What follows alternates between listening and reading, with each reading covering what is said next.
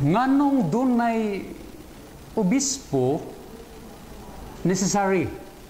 1 Timothy chapter 3 gihisgutan na siya nganha. And then ang mga suwat ni San Pablo Acts um, 20 letter to Titus chapter 3 nagpahinumdum kanato mahitungod sa talagsaong tahas sa overseer. Ang obispo, the bishop, nga nagsugod ang pulong niya sa Grigong pinulungan episkopos, maumang ko ang ipakahulugan. Ipi, ato lang tagal literal ka ayo kuan. Ipi means above. Iskopos means looking. Mao na migawas ning idea overseer. So, kinahanglan dunay obispo. Pangutana nga man, nga no tungod kay ang obispo is symbol of unity sa katawhan sa diocese and a symbol of communion nato ngadto sa kinadakang simbahan. Ako lang klarohon ha. Ang diocese sa Iligan gitawag sig diocese tungod kay again ang iyahang Greko nga pulong ana diocese meaning to say administration. Ang diocese sa Iligan di ka pwede mo tawagan ni og fragment of the Catholic Church or a branch of the Catholic Church or even a franchise. We are the Catholic Church of this particular territory. So, kinatibuk-at yun siya. So, necessary kaayo ang obispo tungod kay siya lagi itong simbolo nato sa kahiusahan and simbolo sa atong communion sa tanang simbahan sa tibuok kalibutan. Ang obispo manggudpod sa liturgical nga pinulungan pa nini is the fullness of priesthood. Like sa simbahan doon namang gitulok ka mga ang-ang. Naguna, nagsugod sa ubos ang diakonos, no? The server of the church. Nga nagsugod pud na ni adtong pagpili sa dusi ka apostoles sa pito ka mga alagad. Usa na niya na si Saint Stephen, no? Uh, dayon ang mga presbyteros, the elders, ay padayon ang uh, episkopos, the overseer, the guardian of the particular diocese. Now, uh, nganong, nganong fullness of priesthood, tungod kay ang, ang pari o ang deacon, gitawag ni siyang extension kay naaman siya di mahimo sa function sa obispo. Pananglitan. Importante kayo, ang pagkonsagrar sa holy oil during Christmas. Di ba mahimo na bisan kinsang pari? Obispo gid na siya. Ang pag-ordina og laing pari, di ba mahimo sa bisan kinsang pari? Obispo ra gid na nga tahas. Bisan gani ang pagpangumpisal function na sa obispo, extension ra gid mi. Mao nang during confession, doon nagi mga sala nga reserve ngadto sa obispo. Kay kana nga faculty, gi-extend ra gid na nga rinamo. Dili gid kami dili gyud ako nga pari o bisan kinsa nga pari ang naghupot sa kinatibuk-an sa idea sa pagkapari ang obispo gyud besides importanteng pulo nga dumduman nato kanang gitawag namo sa lit, uh, theology nga apostolic succession. Nga ang idea about the bishop nagsugod pagyud ni ngadto sa sinugdanan sa napulo da, da pulog duha ka mga tinunan. Nga okay nganong ni gawas ang idea sa diocese? Gikan man ani adtong May Matthew 10 verse 5 and Jesus sent the first missionaries mao bitaw nang nasayra nato nga si Saint James founded the church in Compostela, Spain. Di ba? Uh, si Saint Thomas founded a church in southern part of India. Si Saint John the Apostle founded a church in the parts of Turkey. Si, uh, of course, Peter and Paul founded a church in Rome. Si, si Saint James Ano? Yes. Founded a church in Jerusalem. Um, nigawas ang idea about the bishop tungod kay gi- gihatag ni nga pastoral care sa ilaha no na adra ah, sila ang naglantaw ani nagtagad particular especially sa pastoral nga ah, pag pag-atiman sa katawhan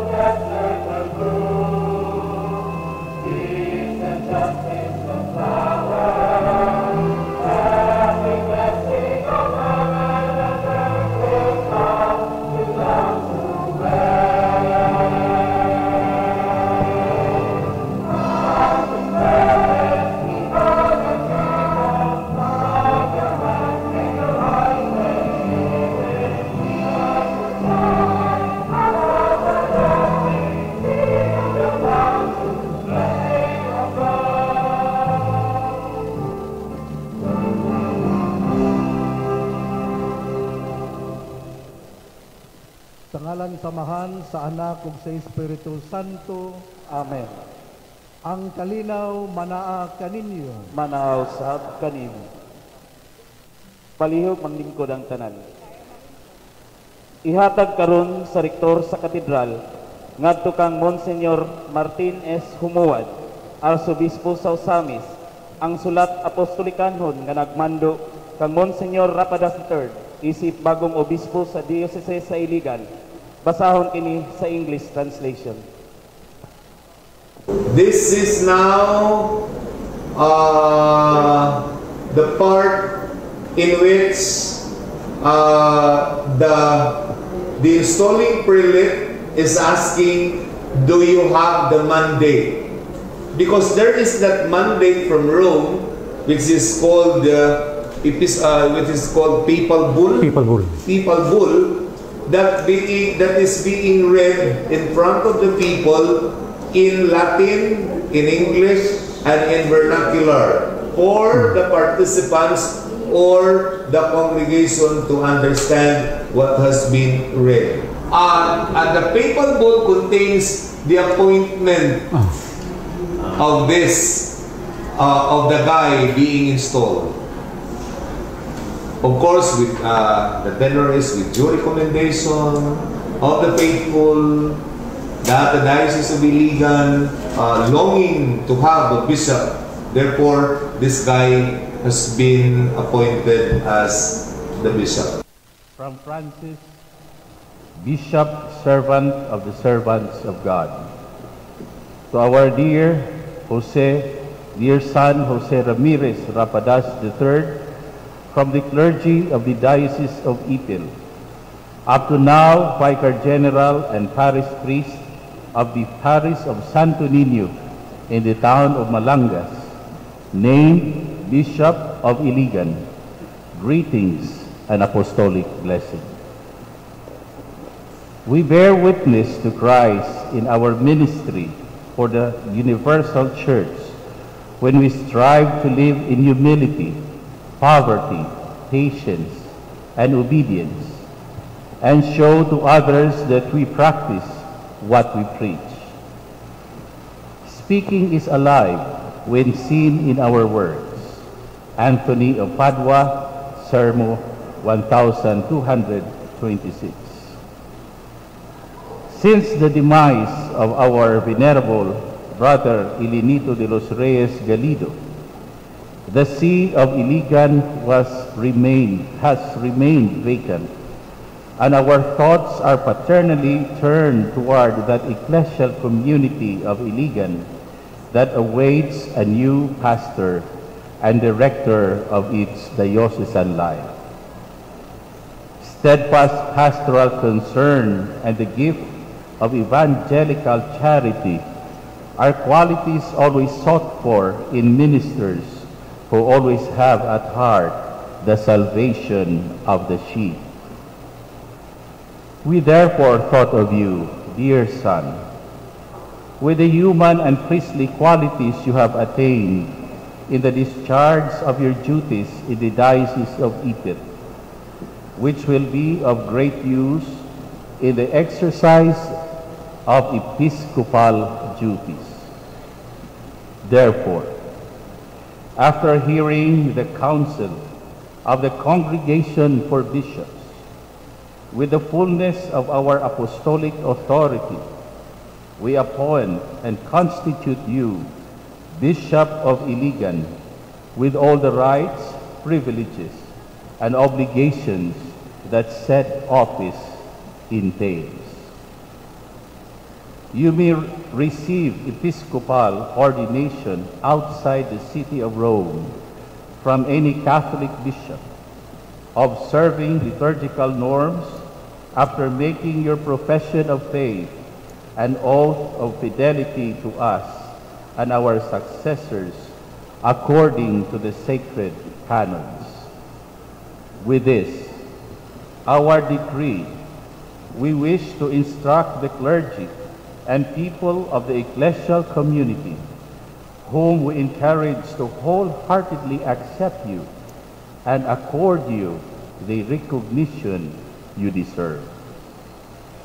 Pasture your ecclesial community, dear son, with care and good example, and nourished by your restrained leadership, they may always be aware of God who comes to our aid and is merciful.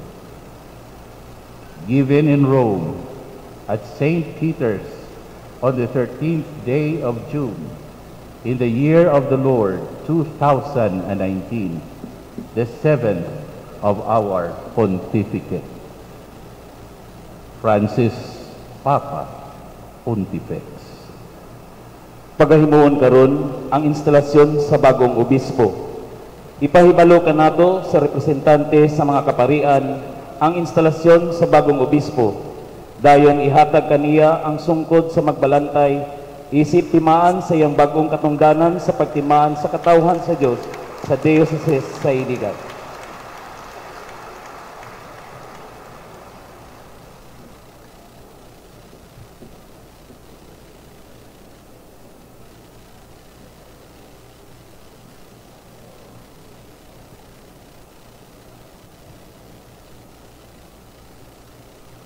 Mga kaigsunan ko diha ni Kristo, pinaagi sa grasya sa Dios o sa pagpili sa Santo Papa, sukad karong adlaw ang labing talahuron nga obispo Monsignor Jose Ramirez Rapadas pagailhon na nga obispo ug magbalantay sa simbahan sa Dios sa Diocese sa Iligan.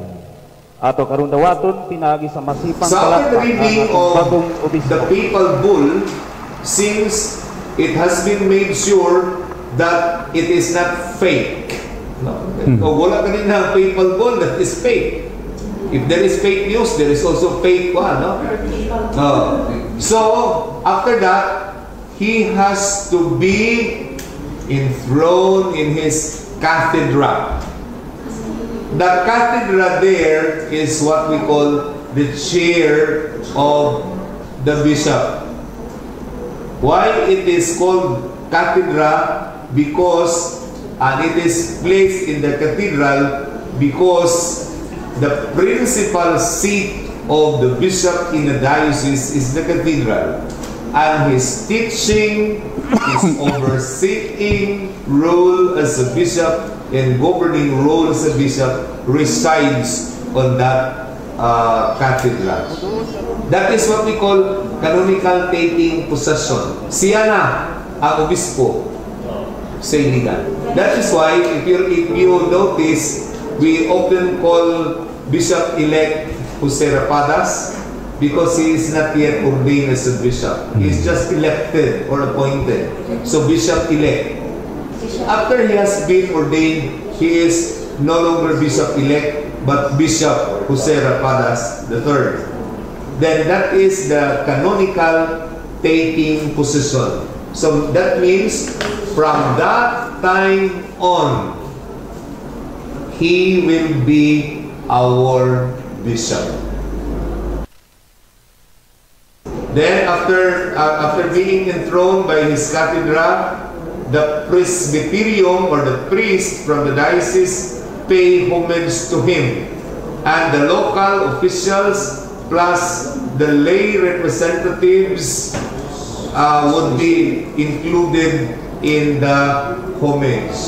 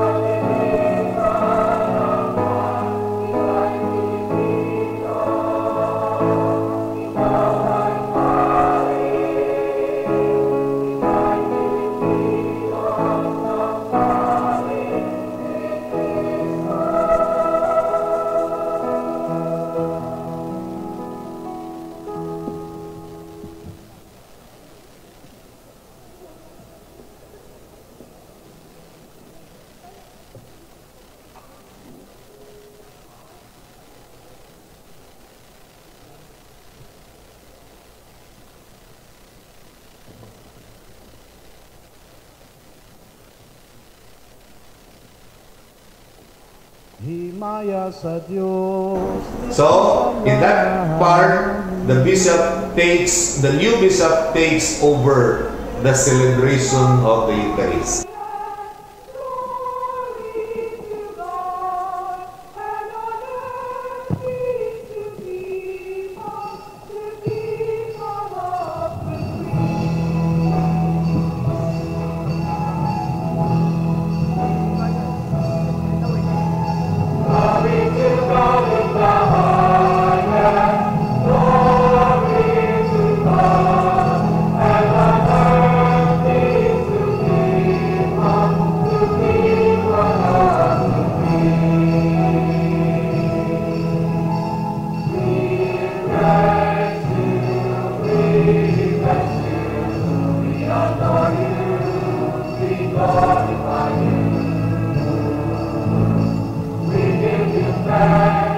Magampo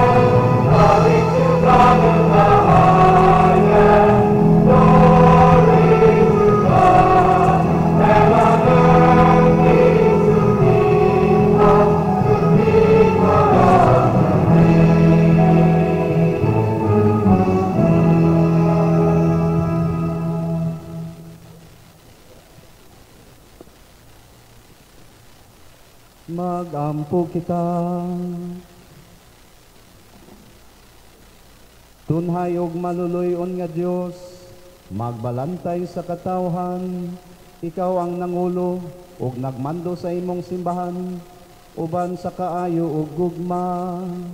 Itugot nga ang imong ubos nga alagad, imong piniling magbalantay sa imong katawhan, mag-alagad unta nga obispo sa ngalan ni Kristo. Himua ako nga matinumanong magtutudlo sa imong maayong balita, mapaubsanon nga alagad sa imong panon, sama sa imong anak nga miani aron pag-alagad, ug dili aron pag-alagaran. Kini among gipangayo, pinaagi sa among Ginoong Kristo imong anak, nga buhi ug hari uban kanimo ug sa Espiritu Santo, Diyos hangtod sa kahangturan.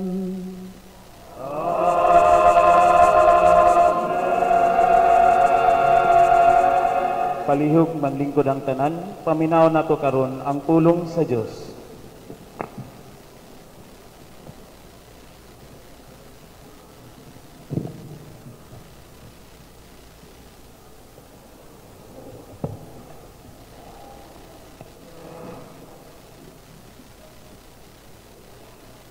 Gikan sa unang basahon ni Samuel. Si Samuel nag-alagad sa Ginoo ubos sa pagdumala ni Eli.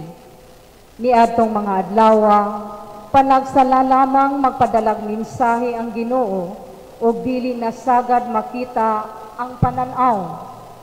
Usa ka gabi ni Ana, si Eli nga halap na, naghigda sa iyang lawak. Natulog si Samuel dito sa santuaryo sa dapit, nga gibutangan sa sudlanan sa kasabutan. Sa wala pa mo kaadlawon, samtang nagsigapa ang mga suga, nitawag ang ginoo kang Samuel nga nag-ingon, Samuel, Samuel, ug mitubag siya, di arako, ug miadto siya kang Eli ug niingon, nganong gitawag mo man ako? Apan si Eli mi- miingon, wala ako magtawag, balik pagkatulog. Busa miadto siya sa iyang lawak ug mihigda. Apan ang Ginoo mitawag pag-usab. Samuel, Samuel. Ug si Samuel mibangon ug miadto kang Eli ug miingon. Unsa may akong ikaalagad kanimo? Apan mingon si Eli, wala ako magtawag kanimo anak. Katulog pag-usab. Niining tungura si Samuel wala pa makaila sa tingog sa Ginoo ug wala pa ikapadayag kaniya ang pulong sa Ginoo. Ug ang Ginoo mitawag kang Samuel sa ikatulong higayon. Mibangon siya ug miman miadto kang Eli ug miingon. Nganong gitawag mo man ako? Unya nakasabot si Eli nga ang Ginoo mo'y nagtawag sa bata, busa giingnan niya si Samuel. Balik og higda og kung tawgon kapag usab, tubaga siya. Sulti o ginoo kay mamati ang imong sulugoon. Busa mibalik paghigda si Samuel. Unya mitungha og mitindog ang ginoo nga nagtawag sama sa unang mga higayon. Samuel, Samuel, og si Samuel mitubag. Sulti o ginoo kay mamati ang imong sulugoon. Midako si Samuel ug ang Ginoo naguban kaniya ug walay nakawang sa tanan nga iyang gisulti. Ug mituo ang tibuok Israel gikan sa Dan ngadto sa Beersheba nga si Samuel propeta sa Ginoo. Ang pulong sa Ginoo. Salamat sa Diyos.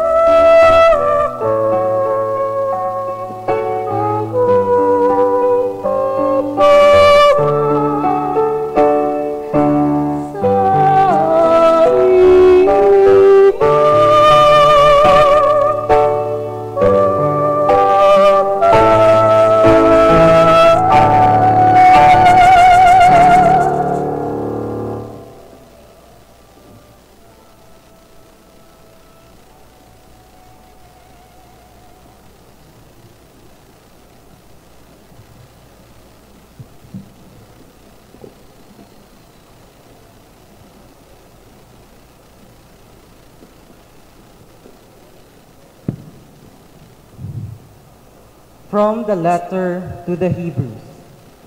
Every high priest is taken from among men and made their representative before God to offer gifts and sacrifices for sins. He is able to deal patiently with the ignorant and erring.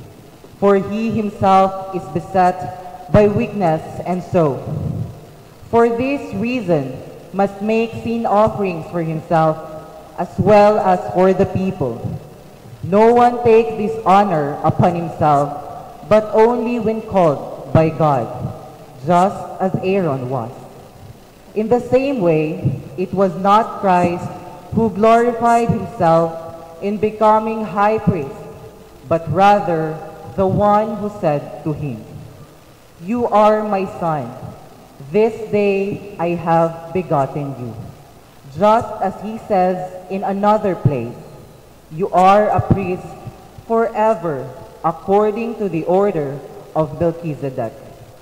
In the days when he was in the flesh, he offered prayers and supplications with loud cries and tears to the one who was able to save him from death. And he was heard because of his reverence. Son, though he was, he learned obedience from what he suffered, and when he was made perfect, he became the source of eternal salvation for all who obey him, declared by God high priest according to the order of Melchizedek. The word of the Lord. Thanks be to God. Palihog manindog ang tanan, agi pagtahod sa santos nga ebanghelyo.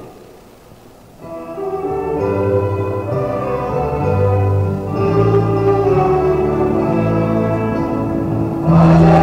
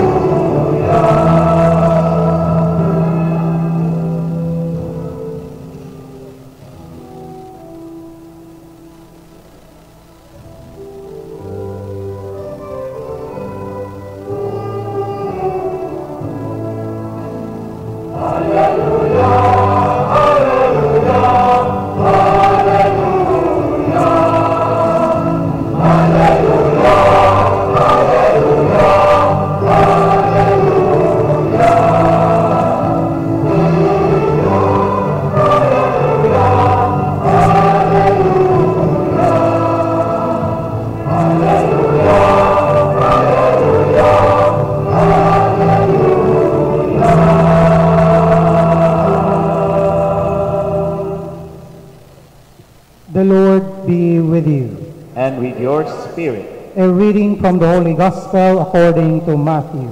glory to you, O Lord. On that day, Jesus went out of the house and sat down by the sea. Such large crowds gathered around him that he got into a boat and sat down, and the whole crowd stood along the shore. And he spoke to them at length in parables, saying, A sower went out to sow, and as he sowed, some seed fell on the path, and birds came and ate it up. Bone fell on rocky ground where it had little soil. It sprang up at once because the soil was not deep, and when the sun rose, it was scorched, and it withered for lack of roots. Some seed fell among thorns, and the thorns grew up and choked it. But some seed fell on rich soil and produced fruit, a hundred or sixty or thirty fold. Whoever has ears ought to hear. The Gospel of the Lord. Praise to you, Lord Jesus Christ. Palihog magpabilin kitang magtindog.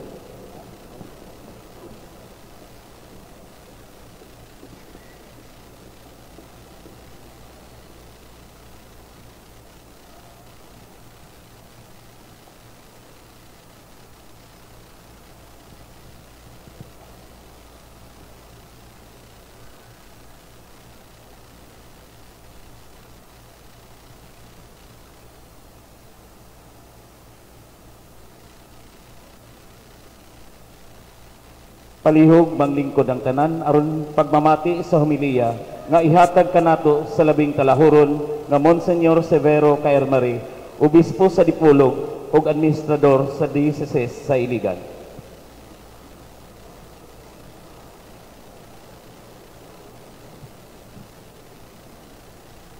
to the Apostolic Nuncio to the Philippines, Archbishop Gabrieli Giordano Cacho. To the President of the Catholic Bishops' Conference of the Philippines, Archbishop Romulo Valias. To the Metropolitan Archbishop of Ozamis, Archbishop Martin Humuad. Dear Archbishops and Bishops of the Philippines, brother priests, religious men and women, the honorable government officials, the men and women in uniform, the mother, the families, relatives, and friends of Bishop Joey, the faithful of the Diocese of Iligan, guests, brothers, and sisters. It was December 5, 2017, when we lost our beloved Bishop, Bishop Needs Galido. The faithful, the clergy, and the religious of the diocese were grieving for his yearly and untimely demise. But our grief turns into hope, and our loss turns into a prayer that God, in His generosity and loving kindness, would send a shepherd after His own heart the soonest, the soonest possible. And after a year and nine months exactly today, September 5, 2019, one year and nine months. Here we are grateful and joyful. We gather on this shining, shimmering, splendid, newly renovated sanctuary of the Cathedral of St. Michael the Archangel for the installation of the fifth bishop of the Diocese of Iligan. Bishop Joey, you are exactly the embodiment of the two lines of the song, Ikaw. Ikaw ang bigay ng may kapal. Tugon sa aming dasal. Bishop Joey, ikaw mo ang tubag sa among pag-ampo. Ikaw ang gasa sa Ginoo para sa diocese sa Iligan nga among gipangayo. Atong daygo ng Ginoo.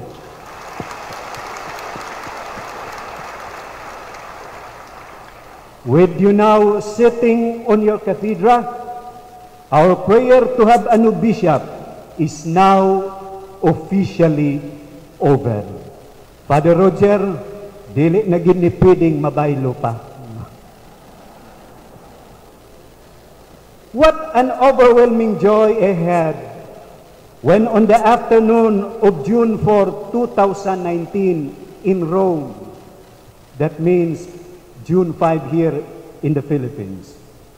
During our ad limina visit, when I received a phone call coming from the Philippine Nunciature, informing me that there is now a new bishop for Iligan Diocese.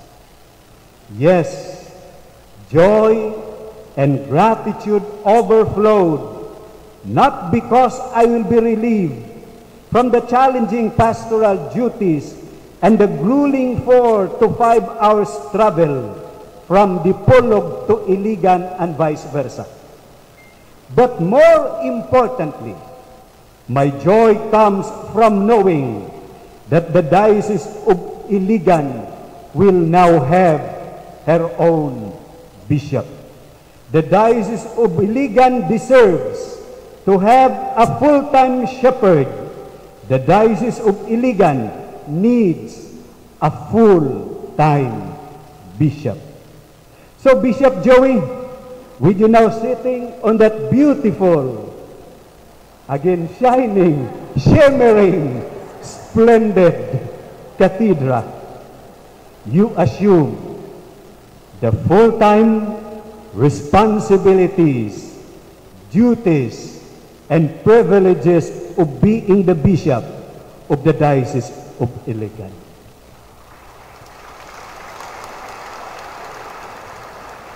Well, called all this as part of the fullness of the priesthood as we receive at the consecration of the episcopacy. Kung si Bishop Manggiran ang pasultihon, mingon siya, ang fullness of the priesthood, gauban usab ni ana ang fullness of the problem. Og kon si kanhi Cardinal Vidal pod ang pasultihon, kung unsa kadako sa imong problema, kana nagadepende kung unsa kadaghan ang imong mga pari. Bishop Joey, ayaw kabalaka. Kay gamay ra kag pari kumparar sa ako ha.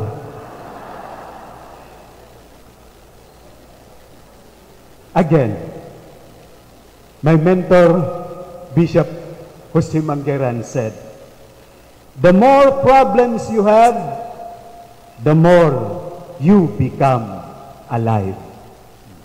So let us take every problem as a gift. It calls us to be more, to be more committed, to be more faithful, and to be more brave and zealous in our ministry, to become, to be more prayerful and more surrendered to the divine. For after all, the real work is done by God Himself. This indeed is best described in the gospel of the parable of the sower that we just heard. We must have heard this parable many times before. More often than not, we fail to notice the somewhat questionable agricultural method used by the sower in the story.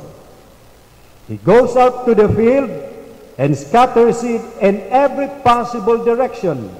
And soon enough, we find out on every possible type of soil. The sower pays little attention to the condition of the soil. He seems to ignore the weeds, the thorns, and the hungry birds.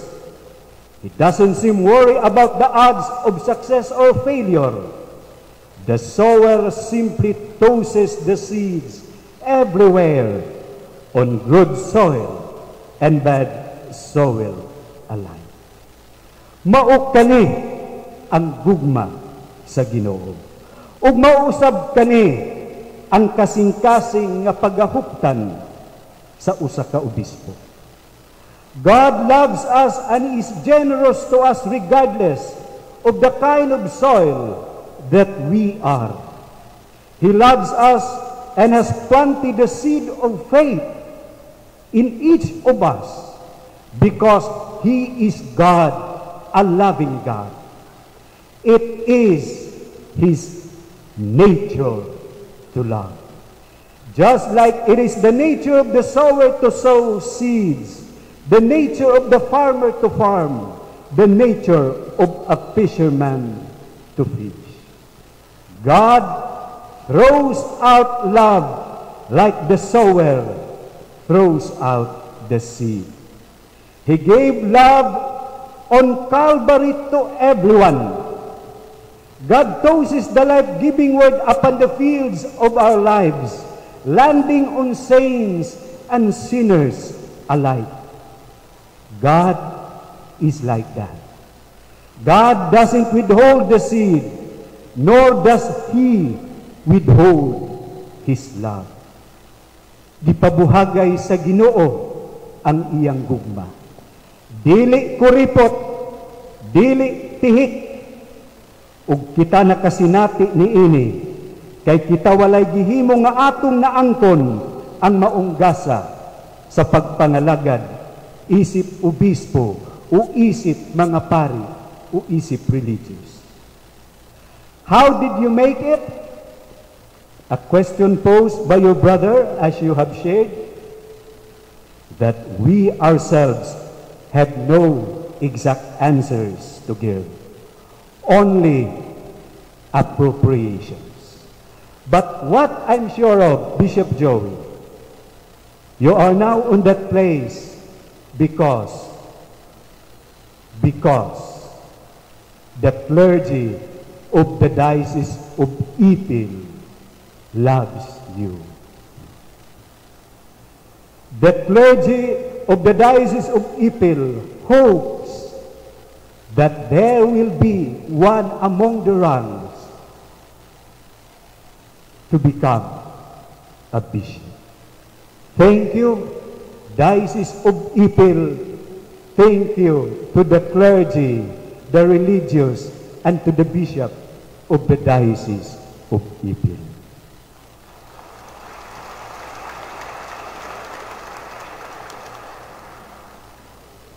Dear brothers and sisters, at times we have been limited in maximizing our talents and blessings because we are to focus on others, on the kind of soil, rather than on our very nature as a child of God, as a baptized. Doon ay mga higayon nga mo kita nahimo kitang aktibo sa parokya tungod kay ang atong pari aktibo usab. But then we have to see that we have to share our talents and blessings not because on the condition of the others or the condition of the recipients. That we help not because we are asked to help, but because it is our nature to help. That we love not because the other person deserves our love, but because it is our nature to love. That we forgive not because the other asks for forgiveness, but because it is our nature to forgive. That we come to church not because we have been told, but because we have this natural burning desire to be with God. You volunteer in different ministries and apostolates in the parish or in the diocese, not because you think highly of yourselves, but because you want to do something highly beautiful for Christ. Nagbolunteer diha sa parokya, dili tungod kay kamo ang pinakamaayo, kundili alang sa kaayuhan sa katilingban, alang sa kaayuhan sa simbahan. Ug mao kani ang pagdapit kanato nga ang atong pagpangalagad dili nakabase sa uban, dili nakabase sa kauban, apan unta ang atong pagpangalagad nakabase diha sa ato nga kahilagman. Bishop Joey, you are hailed as the present youngest bishop in the country today.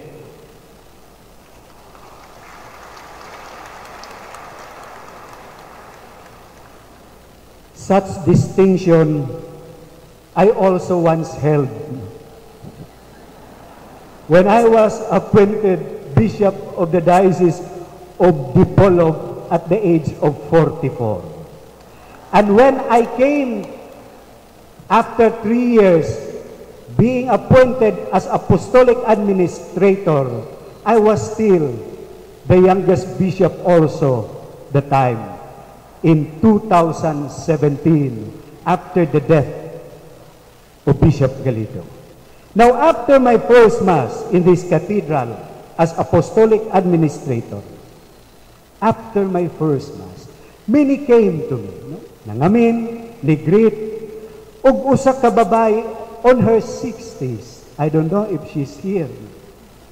Miingon siya, kabulahan namo kay batanon among obispo, maminyo pagyud ni. Wala ko'y tubag ug wala pug ko nakatubag kay daghang mga tao ang nanuol. But are we bishops not married to the church? And with now, with you now sitting on your cathedra, married to the diocese of Iligan.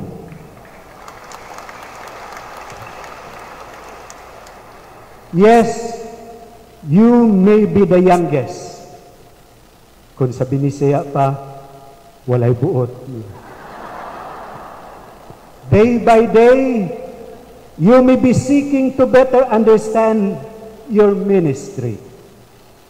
It is natural to feel some anxiety or fear about what the future holds. You may be feeling the need to prove your worth.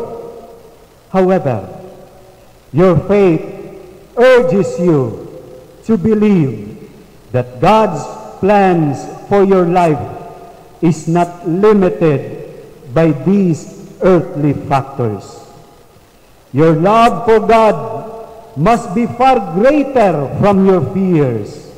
Your faith must be far greater from your doubts. And your trust in God must be far greater from your self-confidence. God may have called you to this place far outside of your comfort zone of Malangas. Into tasks you feel unprepared for. Land that is a little far from home. You may not know the full onset of the itinerary of your journey. But in your prayer, in your silence, and in your ability to listen and to be taught, to listen and to be taught, the qualities of being young, I am sure, then you will be journeying to that grace-filled and faith-enhancing pastoral care despite the challenges and difficulties.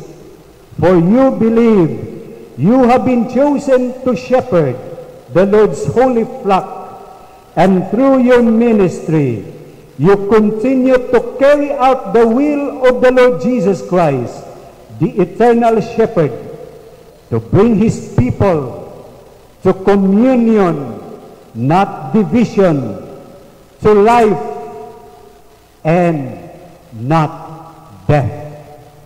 Yes, life, not death. Bishop Joey, your ordination may have a mark of death. The death of Bishop Nitz and the death of Father Alberto Traso. May they rest in peace now. But the reality is your life and ministry as a bishop becomes a testimony of hope in the resurrection. As the document Pastoris Gregis, the apostolic exhortation of Pope John Paul II on the ministry and life of bishops, it says, the bishop stands in the midst of the church as a vigilant sentinel, a courageous prophet, a credible witness, and a faithful servant of Christ, our hope of glory. Thanks to whom death shall be no more, neither shall be there mourning, nor crying, nor pain anymore. Acting as father, brother, and friend to all. You will stand beside everyone as the living image of Christ, our hope, in whom all God's promises are fulfilled and all the expectations of creation are brought to completion and of the cross. Brothers and sisters, remember everyone is asked to plant the seeds. Seeds of love and kindness. Seeds of justice and peace. Without even taking into the condition of the soil, but looking into our very nature as a child of God. Indeed, Bishop Joey, heavy is the head that wears the mitre, and bound is the hand that carries the pastoral staff. But always be consoled. What the parable of the sower teaches us, the real work is done by God. Our work is merely to clear the ground, to prepare the soil for God's sowing. And with the protection of St. Michael the Archangel and the maternal intercession of Mary our Mother, may the Lord grant us His favor and give success to the work of our hands. Amen. Palihog manindog, magampo kita karon sa pangamuyo sa katilingban.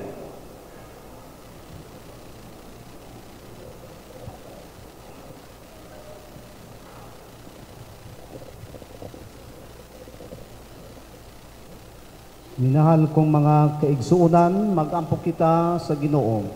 Aron ubanan kita niya kanunay sa iyang espiritu sa kalinaw o panaghiusa. Diha sa atong pagpadayon sa pagsangyaw sa maayong balita nga gisangon kanato ni Kristo. Sa matag pangamuyo kita moingon, dungga Ginoo ang among pagampo. Dungga Ginoo ang among pagampo.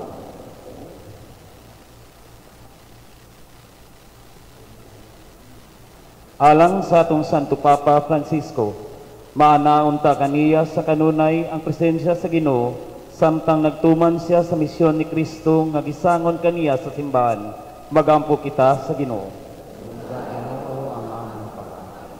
Alang sa atong bagong obispo, Jose Ramirez Rapadas III, manaon ta siya kanunay sa paghigugma ug pagtagad sa Ginoo aron taliwala sa mga problema ug mga kabugat sa iyang manibagho sa iyang pagkaobispo. Magpabilin siyang makusganon ug madasigon nga mopadayon sa misyon sa simbahan diha sa kinaadman ug kamatuoran. Magampo kita sa Ginoo. Alang sa atong diocese sa Iligan, ang dakbayan ug ang lungsod sa lalawigan sa Lanao del Norte, ang espiritu sa gugma may untay maghari sa tanang katawhan aron makakabot ang kalinaw ug ang kayusan. Magampo kita sa Ginoo. Alang sa tanang nangulo kanato diha sa pangagamhanan nga mabaton nila ang grasya sa pagbago sa kasing-kasing aron makaalagad sila ingon sa angay alang kalambuan ug kalinaw sa atong nasod. Magampo kita sa Ginoo. Alang sa tanang mga mamumuo, mag-uuma, negosyante ug mga professional aron pinaagi sa pag-agak sa pananglangin ni San Miguel Arcangel nga atong patron magpuyo unta sila kanunay sa Kristohanong pagtulunan taliwala sa mga pagsulay ug bunog sa kinabuhi. Magampo kita sa Ginoo. Alang sa tanang mga kabatanunan ang espiritu sa kinaadman manaunta kanila kanunay aron dili sila mahisalaag sa hiwigdalan ug dili sila malimbungan ug madala sa pagdani sa kalibutanon ug lumalabay nga kalipay magampo kita sa Ginoo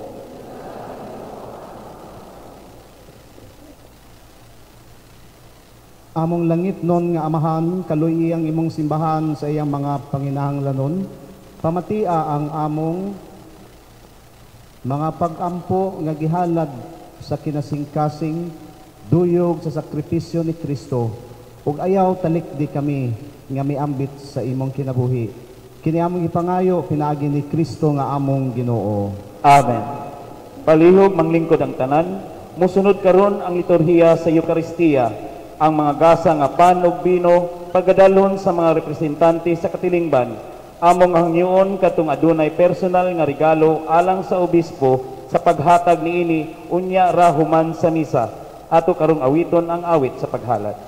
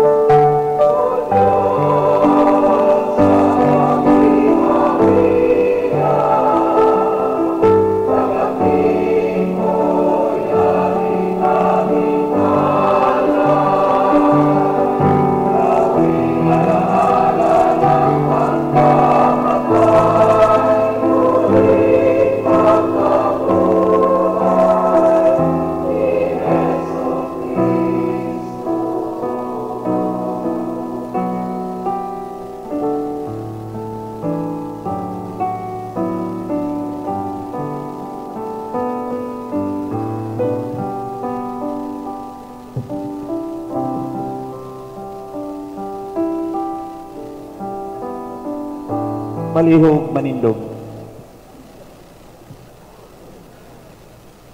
Mga igsuon pag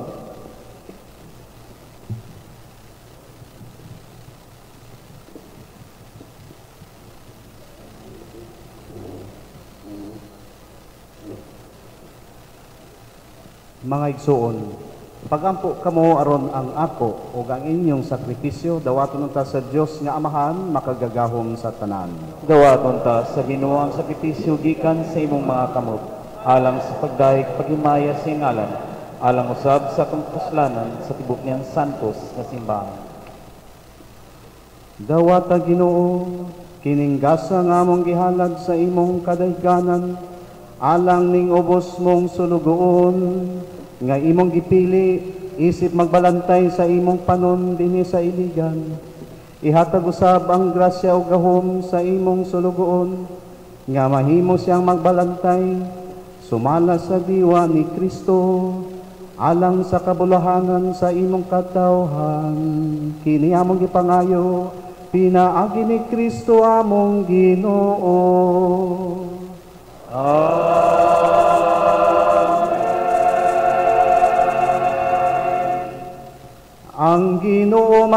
Manaakan ninyo.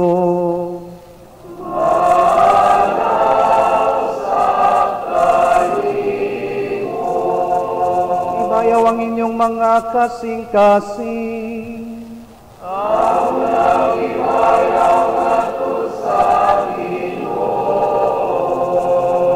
Magpasalamat kita sa Ginoo nga atong Dios.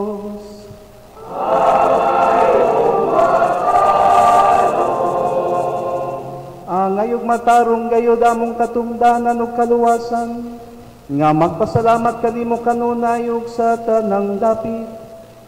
Ginoo Santos nga Amahan, Dios nga makagagaw mo buhay katapusan. Pinaagi ni Kristo among Ginoo.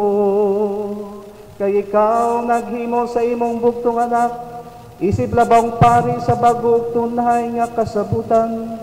Pinaagi sa pagdihog sa Espiritu Santo, tungod sa imong laraw nga dili kag asoy, imong gibutan nga imong buktong pagkapari, magpadayon diha sa simbahan. Kay dili lamang gitugyanan ni Kristo og dungog sa pagkaparing harianon ang katawhan nga iyang sinagup, kundi uban sa inigsuong kaayo, nagpili usab siya og mga tawo nga moambit sa iyang balaan nga pagalagad, pinaagi sa pagtapion sa mga kamot. Sila iyang gipili aron tungod sa iyang ngalan, ilang bag-on ang sakripisyo sa pagluwas sa katawhan. Aron ikadalit sa imong banay ang bangkete sa Pasko, aron mangulo sa imong balaang lungsod diya sa gugma, sa pag-alima kanila pinaagi sa imong pulong, ug aron sila mabaskog pinaagi sa mga sakramento, sa ilang pagtugyan sa kaugalingon alang kanimo, ug alang usab sa kaluwasan sa ilang mga kaigsuunan. Paningwaon nila nga maisama sa larawan ni Kristo mismo, ug maghalad kanimo sa ilang makanunayong pagsaksi sa pagtuo ug paghigugma. Ug busa. Uban sa tanang mga santos o mga anghel sa langit nagaawit kami sa imong himaya. Pinaagi sa usa ka tingog sa pag-ingon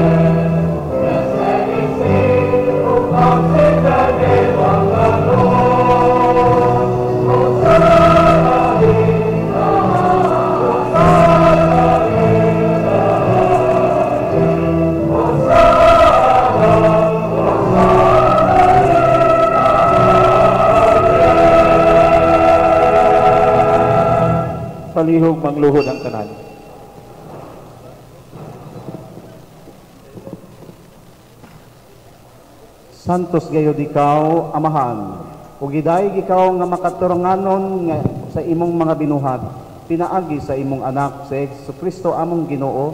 Ang tanang kinabuhi tanang kasantos nagagikan kanimo sa gahom sa Espiritu Santo. Sa tanang panahon nagatigom ikaw og mga tao alang kanimo aron nga gikan sa silangan hangtod sa kasadpan o sa kaputli nga gasa ikahalad alang sa himaya sa imong ngalan busa amahan ani kining mga gasa. Timo kining balaan pinaagi sa gahom sa imong espiritu aron mahimong lawas o dugo sa imong anak nga sa Yesu Kristo among Ginoo. Nga misugo kanamo pagsaulog niining misteryo. Ni anang gabi nga siya gibudhian mikuha siya og pan. Mipasalamat kanimo og miday mipikas mihatag niini ngadto sa mga tinun-an og miingon dawata kini ninyo nga tanan ug kana kay kini mao ang akong lawas nga itugyan alang kaninyo.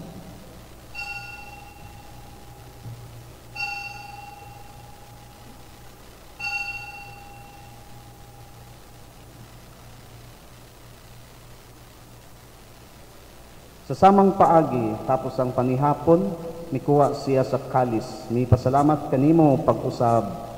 Miday, mihatag niini sa mga tinunan og miingon. Dawata kini og panginom kamo nga tanan gikan niini. Kay kini mao ang kalis sa akong dugo sa bago og tunhay nga kasabutan. Ang dugo ngay ula alang kaninyo og alang sa tanang mga tawo aron ang mga sala mapasaylo. Buhatag kini aron paghandom kanako.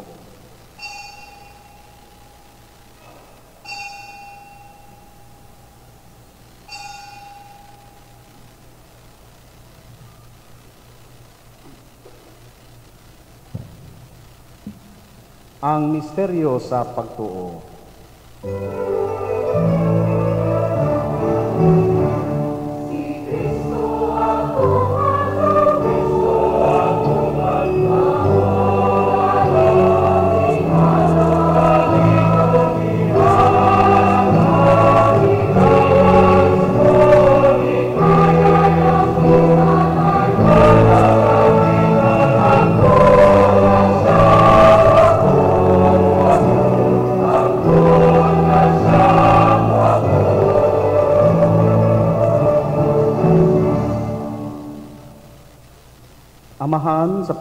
Paghandom sa kamatayon nga giantos ni Yesu Kristo alang sa among kaluwasan sa iyang mahimayaon nga pagkabanhaw o sa iyang pagkayab nga na sa langit kami andam sa pagsugat kaniya sa iyang sunod nga pag-anhi. Nagahalad kanimo niining santos ug buhi nga sakripisyo dinhi sa pagpasalamat kanimo. Kahimot ipagsudong kining halad sa imong simbahan. Dawata kining biktima kansang kamatayon nakapahiuli kanamo nganha kanimo itugot nga kami nga gialimahan sa iyang lawas ug dugo mapuno sa Espiritu Santo ug mahimong usa ka lawas ug usa ka espiritu diha ni Kristo.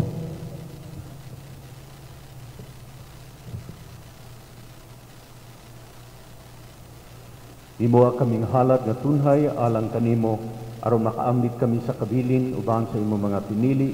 Una sa tanan uban ni Maria ang inahan nga ulay sa Dios uban ni San Jose nga iyang bana ug ni San Miguel Arkanghel uban sa mga apostol ug mga martir ug sa tanang mga santos nga among gisaligan nga mutabang kanamo pinaagi sa ilang makanunayong pangaliya nganha kanimo.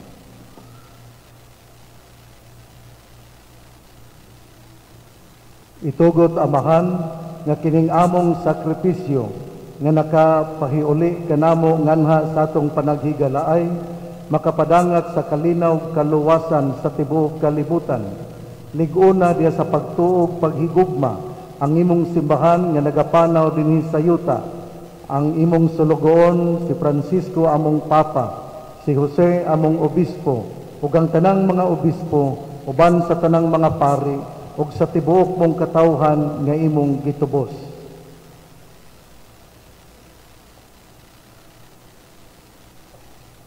Patalinghugi amahan ang mga pag-ampo niining imong katawhan.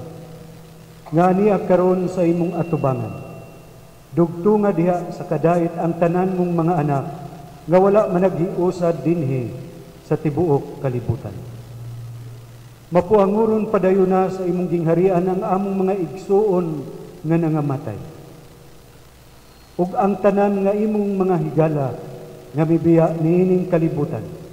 Nagalaom kami nga dinha makatagamtam kami kanunay sa imong himaya nga wala nay katapusan. Ikaw nga nagahatag kanamo sa tanang butang, pinaagi ni Hesus Kristo among Ginoo.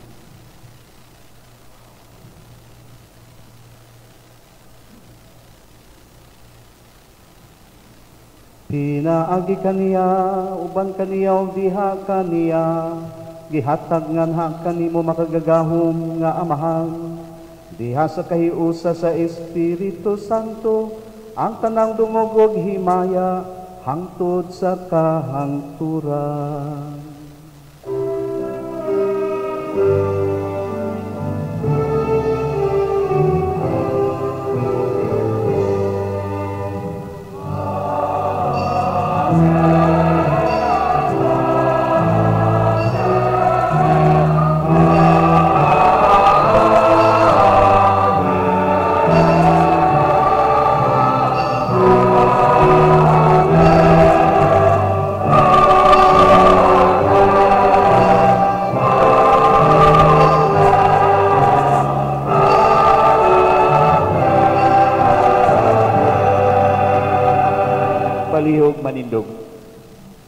Karon magampo kita sa amahan atong gamito ng mga pulong nga gitudlo kanato sa atong manunubos.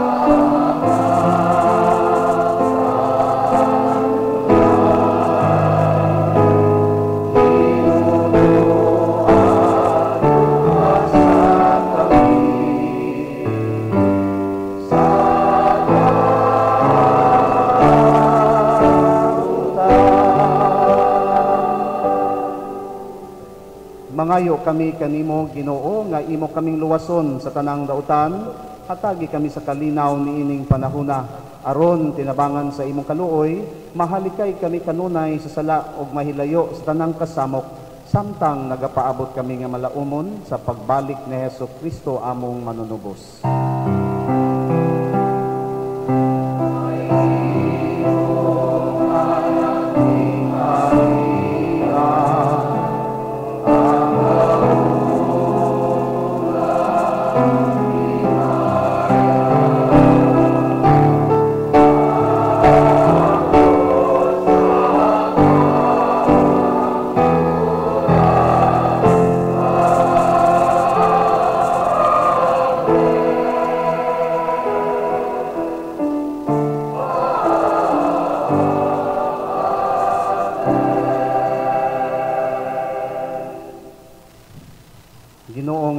Kristo, nag-ingon ka sa iyong mga apostoles, ang kalinaw, ibilin ko kaninyo, ang akong kalinaw, ihatag ko kaninyo.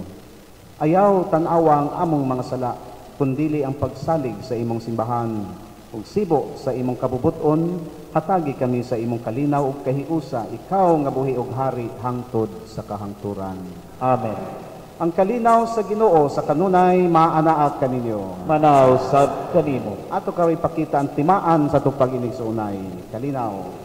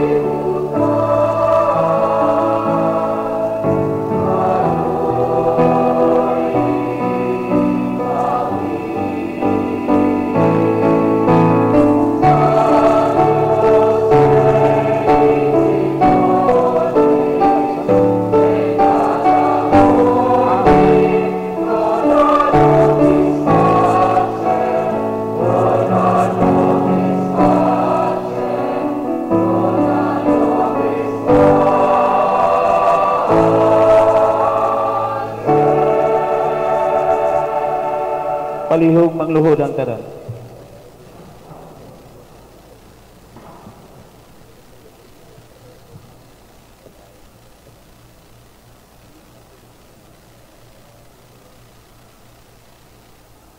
mga igsuon. Kini mao ang kordero sa Dios nga nagawagtang sa mga sala sa kalibutan, bulahan kita gidapit sa bangkete sa Ginoo. Ginoo, dili ko angay nga mokalawat kanimo, apan ipamulong lamang ug mamaayo ako.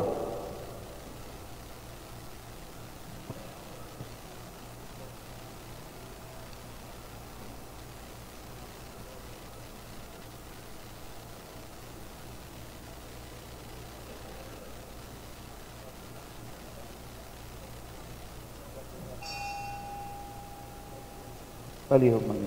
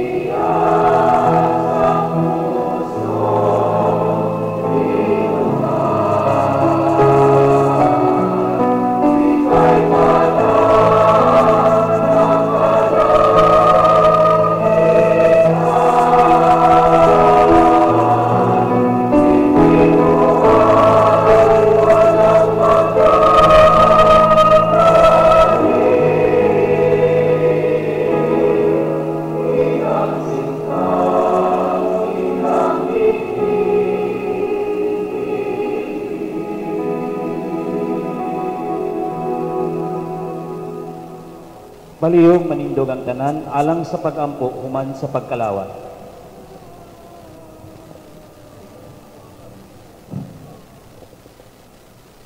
Magampo kita.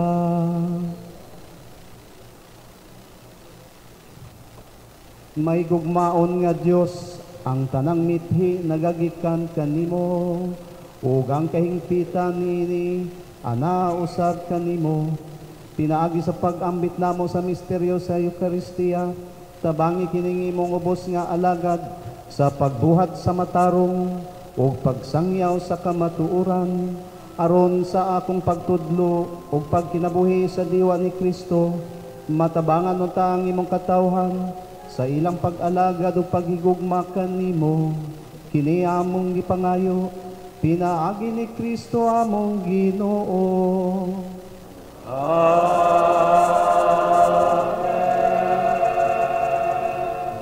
be seated. Let us now listen to a brief message from His Excellency, the Most Reverend Gabriele Giordano Catia, Apostolic Nuncio to the Philippines.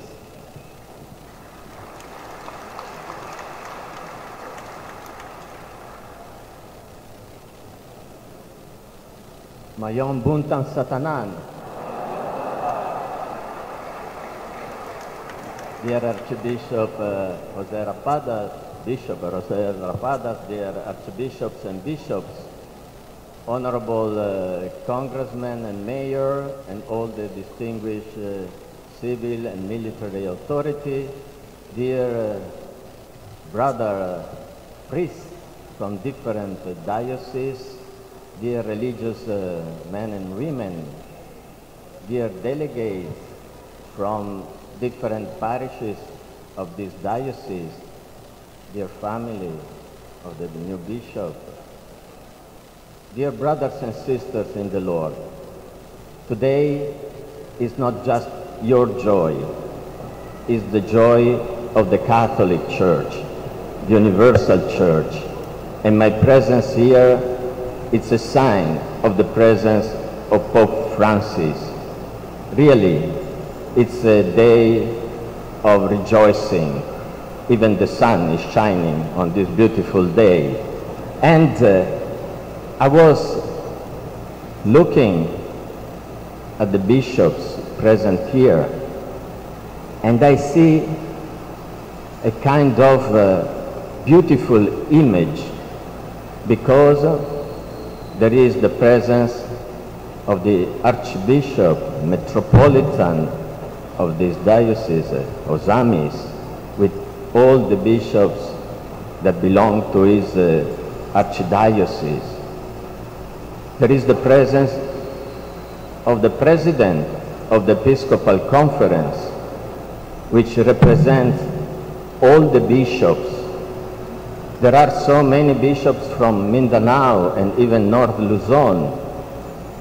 My presence, our Catholic faith is really universal.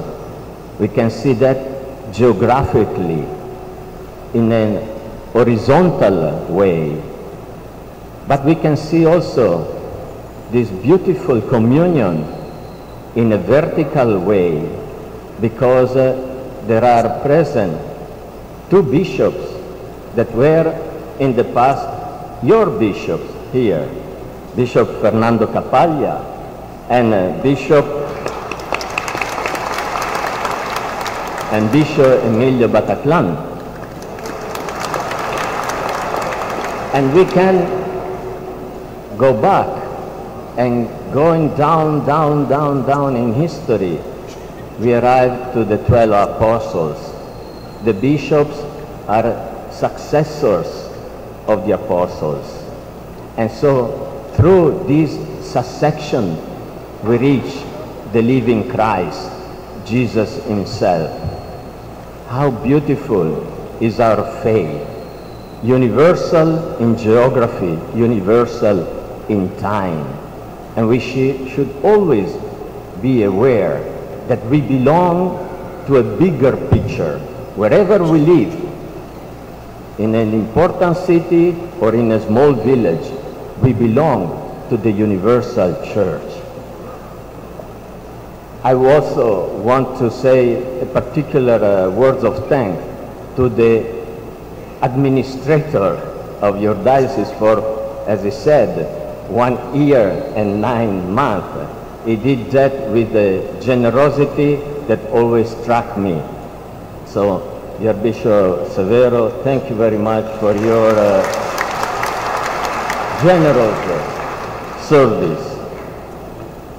There were some concern about the new bishop, and the main concern is age. And somebody thinks that being so young could be a problem.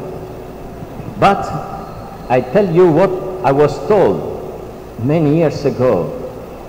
Don't worry. Youth is a sickness that cures itself. It's a question of time only. So don't get worried. but there is also a very case in the New Testament in which also the apostle St. Paul had to say something about a very young bishop, Timothy. And in the letter to Timothy, he said, Do not let anyone look down on you because you are young. Do not let anyone look down on you because you are young. This is what St. Paul said. And we can apply also to this occasion. But you an example for the believers in your speech, your conduct, your love, your faith, and purity. And even the Pope, Pope Francis, we read the bull at the beginning, he said, I encourage clergy and people of Iligan to wholeheartedly accept you and accord you the recognition you deserve.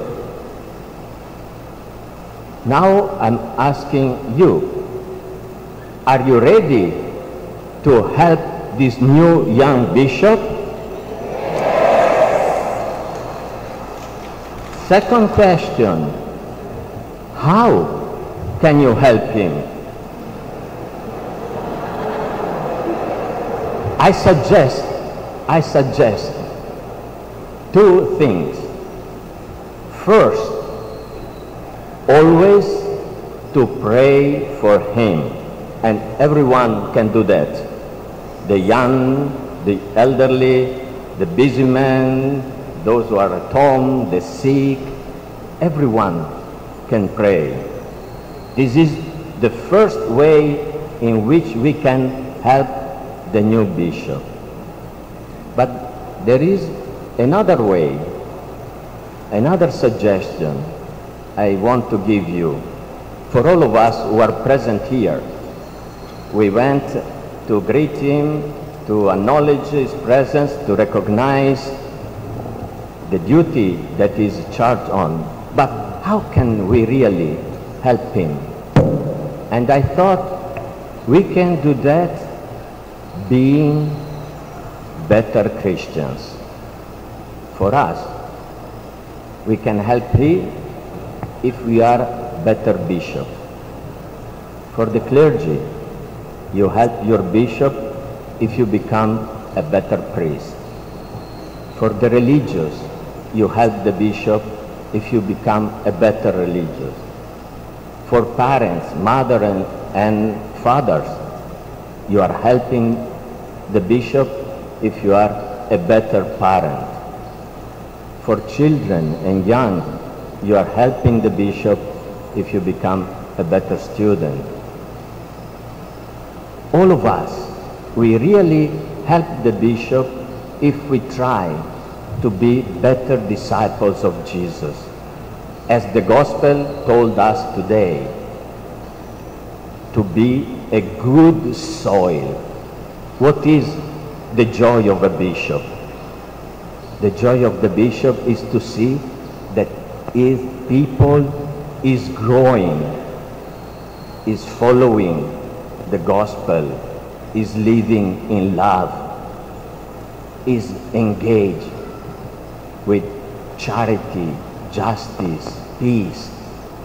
And so the arrival of the new bishop is not something that concerns him only, but concerns all of us. Let us say to the risen Christ here, Jesus, help me to be a better disciple.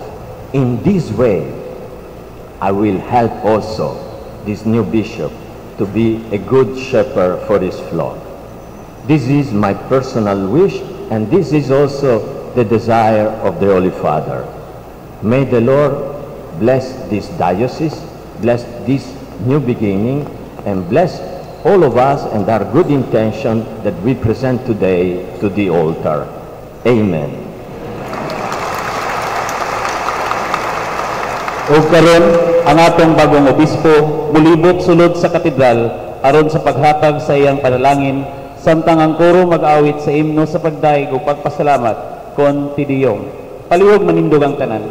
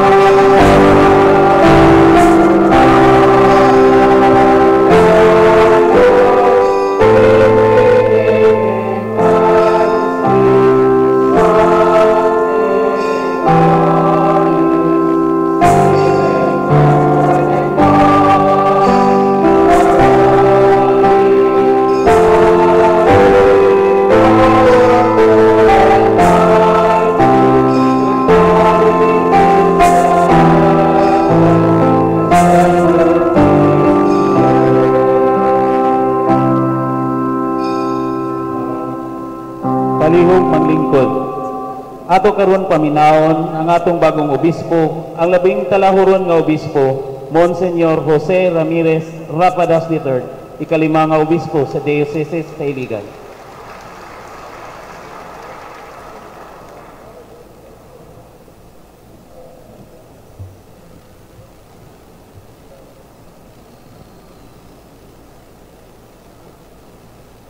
Ga paingon pa lang ko din sa Iligan.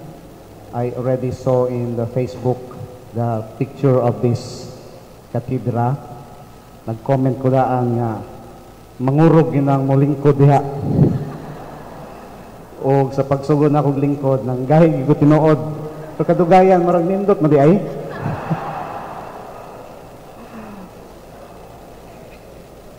to our beloved and uh, supportive Papal Nuncio, Most Reverend Gabriel Acaxia. Thank you for your words supporting my uh, position now as the young bishop. And I pray that uh, what you have just said will be taken seriously by the people. Uh, thank you also for being available. You have seen me twice, once in Ipil and now here in Iligan. Palakpakan na to si uh, atong Monster. And I would like to express my gratitude to our installing prelate, our Metropolitan Archbishop, Most Reverend Martin Humuan. Palakpakan na kasi.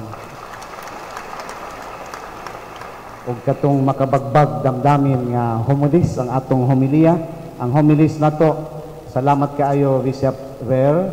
Uh, wagi ko masayop nga ikaw gyud ang ako ang gibutang. Kabalo ko daghang pang mga banggiitang mga magwawali. No say gusto natong paminawon. Pero si Bishop Ver sa akong tan-aw, siya ang dunay kay balo, no? Ang, ang pitik sa iligan iyang nasulayan. Thank you for your uh, reflections. And may I have a copy of your homily, Bishop? okay, together with the homily of my bishop in Ipil, also beautiful uh, homilies, uh, I will spend some more time uh, chewing them uh, to help me in my ministry. Palakpakan ko si Bishop Bear. and uh, very friendly CBCP President, uh, Most Reverend Romulo Valies. Kanunay ang iyang presence para nako very very assuring, very welcoming. Salamat uh, Bishop uh, Muloy. At palakpakan na to. And of course, I would like to honor my two predecessors who are around uh, Most Reverend uh, Fernando Capalla ni Asadini, palakpakan na to. And of course, uh, Most Reverend Emilio Bataclan, ako palakpakan. Gawnaw na ko, ambot ka sa ilang tanaw sa kuha, kung nalipay ba sila o naluoy sa kuha, gatanaw. In any case, uh, bishops, please do remember me in your prayers. And to all uh, your excellencies, thank you for your support, and especially the DOPIM bishops. I have been with them already for some uh, important meetings regarding the seminary and some concerns. So they are uh, very welcoming and like brothers to me. I am assured that uh, uh, I am together with uh, sheep, not wolves.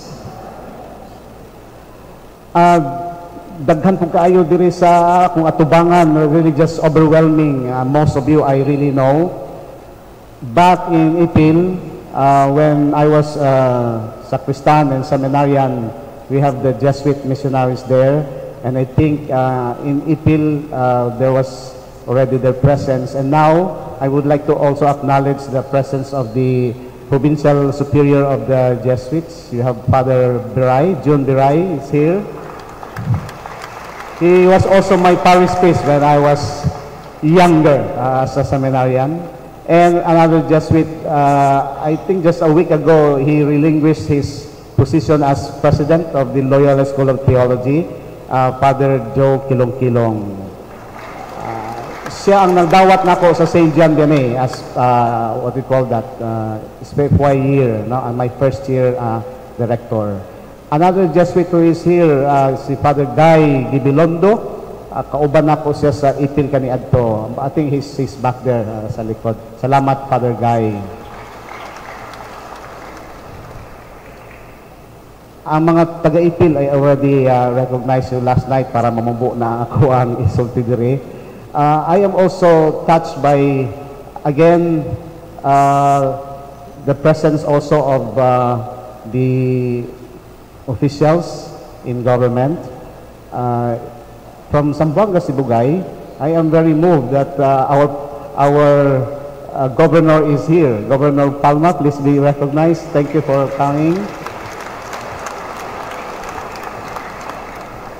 And uh, back in Malangas, I also have a good friend, Ma'am Belma Cabilao, who's here. He used to be uh, part member of the House of Representatives. And the officials of the, the local government unit in Iligan, uh, thank you for your uh, presence. And uh, I look forward to um, more engagement uh, with you as far as uh, is allowed by uh, our limitations no, between uh, the church and the state. Um,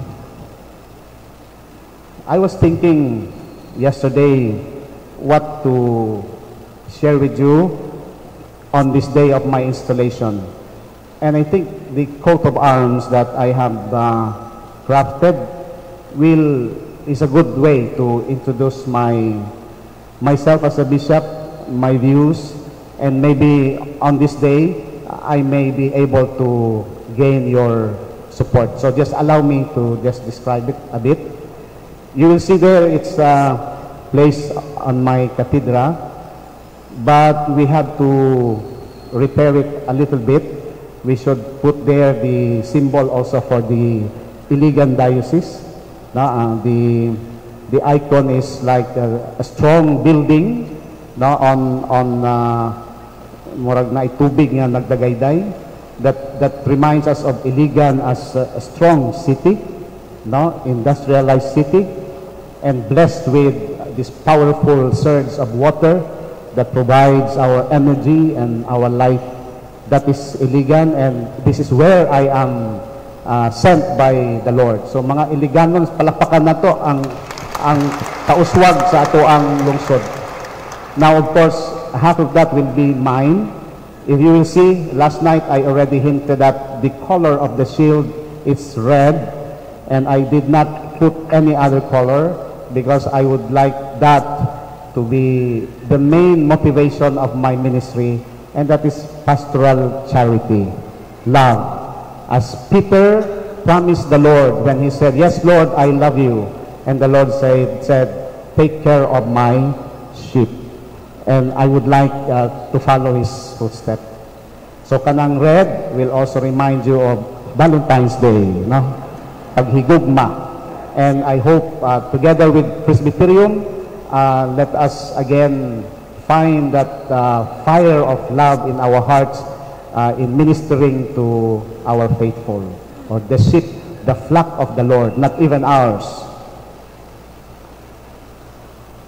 Plus, in the right side of the, yeah, it's, okay, it's very small, but on the right portion of the shield, you have St. Joseph's tools and some mountains and river. That is where I'm coming from, the Diocese of Ipil, uh, whose uh, titular patron is St. Joseph the Worker. And that means I am carrying with me my 20 years of uh, experience of ministry in the Diocese of Ipil and the province of Zamboanga, Sibugay. That's the Sibugay River there. So whatever that means, the Lord has chosen me from that people, from that land. He has a purpose for that. Maybe later on I would be able to see that. But as of now, right away, whatever happened to me back there has been formative of my person and my probably readiness to serve you also. And so Saint Joseph will be also my guide as I am also named after him. No, I am Jose. The meaning of Jose is let God add. And I am clinging to that meaning. Whatever I do will always be lacking, but I am confident that it is God who will fill up whatever is inadequate in my ministry. Palakpakan na itong ginoo na po. On the left side would be the symbol uh, for the Diocese of Iligan. That's the icon for Saint uh, Arch- Archangel, Michael Archangel. You have the sword, the shield, and uh, the wings. That uh, reminds us of uh, the, the diocese where I am uh, sent by the Lord. And there, there's kind of an olive branch no, in that composite that actually is my way of uh, honoring the his advocacy of my predecessor bishops. Uh, I've studied somehow uh, the Diocese of Iligan has been very active in the interreligious dialogue, for instance, and I would like to honor that. And uh, my predecessors are here uh, to also probably guide me towards that. And at the bottom, there is this uh, monogram that's actually used by St. Ignatius, the IHS. Uh, that reminds me of my formation, very significantly uh, influenced by Ignatian spirituality because I have been formed by the Jesuits since my years in the Diocese of Ipil. To all the seminaries I went to, they are all uh, the Jesuits uh, who have been who had uh, formed me, and I am very grateful. So that whenever I read uh, any letter, exhortation, uh, encyclical by our present Pope, I can easily resonate because he is also coming from a very deep uh, tradition of uh, Ignatian uh, spirituality. And at the heart of the uh, coat of arms, mga tao nga nag-alirong sa Biblia, kini ang gagmayng Kristohanong katilingban, and it is the basic ecclesial community, not just as a ministry, but as a way of being church. So my vision of a church is a participatory church, allowing even the simple people in the barrios to participate in the leadership, mission, and life of the church. I have not observed yet uh, how it is in this diocese, but again, uh, I would love that uh, we would move into uh, or maintain uh, a participatory spirit among our communities.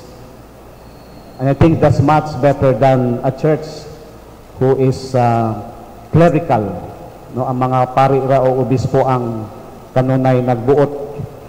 Because if that is the case, then murag tunga lang ang kinabuhi uh, sa simbahan. Kay pinakabaga gani sa ato ang simbahan mao ang ang atong katawhan.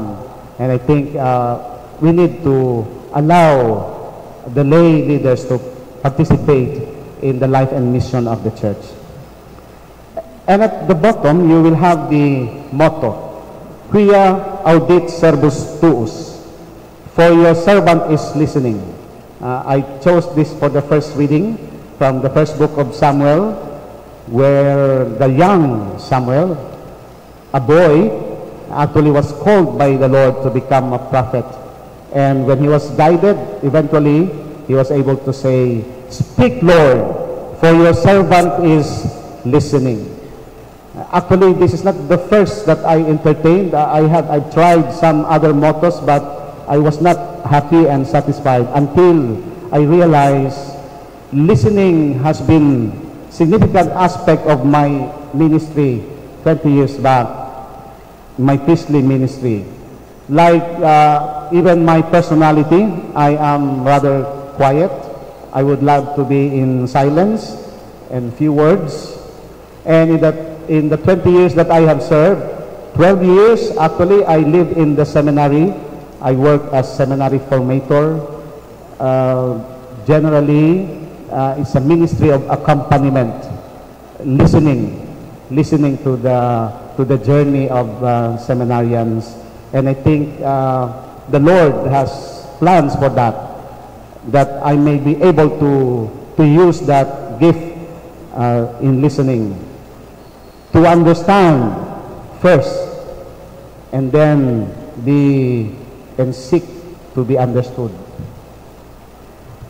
I was affirmed by the uh, apostolic exhortation of uh, our Holy Father, Christus Vivit, number 41. He's, he says, A church who stops listening to others loses her youth and turns into a museum. And I think uh, I would like to, to see myself as a servant who is willing to, to listen. Now, sa akong pamalandong, doon na ako'y mga initial na nga mga na paminawan, mga mga hunghong sa Espiritu Santo siguro. But probably this may be uh, some broad strokes uh, focus or ministry that I would like us to uh, to work on. Una, ang pagpaminaw sa mga kabatanunan sa ilang mga pangutana, sa ilang pagpangita sa meaning. Meaningful pa ba ang pagsimba? I was looking around kung naabay mga batanon dinhi. Ambot lang kung naaba, murag siguro katag-katag, pero mas daghan sa tuwa diri mga gitawag na ni og mga once young, no? Once young. Dili na young ones. And I think now more than ever are the youth in need of guidance and animation. And that's, I think, particularly the purpose of the um, exhortation, Christus Spirit. Christ is alive, and He wants the young to be alive. Maingon lang ato ang Santo Papa. But if kita nga naghawid sa leadership sa atong simbahan, o kirata nga wala ang mga batanon sa ato ang mga celebration, uh, unsaon nato pag tabuhi aming simbahan. Ingon pa sa somewhere in the middle of that uh, letter, it's not enough to say that the youth is the future of society and of the church because actually the youth is the now, the now of the church. So this is first what I am listening to and I hope to to use our resources and energy as a diocese uh, to make the youth find its meaning, their meaning, their role, their mission in our communities, our ecclesial communities. Secondly, pagpaminaw sa agulo sa nagtinga nga kinaiyahan. I don't know, maybe all of us is hearing this already, no? Mabungol na gikaayot siguro ta kung di kita kadungog nga ang ato ang kinaiyahan nagagulo. No? Groaning, the groaning of creation. Actually, naanay bagong termino, terminologies. Dili na gani climate change ang gigamit karon, kundi climate crisis. Kay it's an urgent thing. It's a ecological crisis. We are running out of time. Gani, nalipay ko og nasubo. Wala din akong amigo nga si Bishop Abit Uy. Sige na siya tanom og kahoy dito sa Bohol, no? Together with his diocese, tanom og kahoy. And yet, at all at the same time, we know that the Amazon rainforest is burning fast and uh, thousands of uh, hectares of the trees are burned. Maka, isa ba ni? Ambot, uh, there's a holy anger, no? Kanang, di pwede nga mag, mag lingkod na ta. So, mo na nga importante maminaw ta sa agulo sa kinaiyahan. And uh, even our uh, Holy Father uh, already, several years ago, has already pushed us to do something with his uh, exhortation, Laudato Si, caring for our common home. And I think most probably, bisa na ato mga batanon kung nabisi sila o computer kay way lain siguro silang meaningful nga padulngan, maybe we can present to them that caring for the common home will be a good way of animating the energy of the youth. Third, pagpaminaw sa panawagan alang sa kalinaw.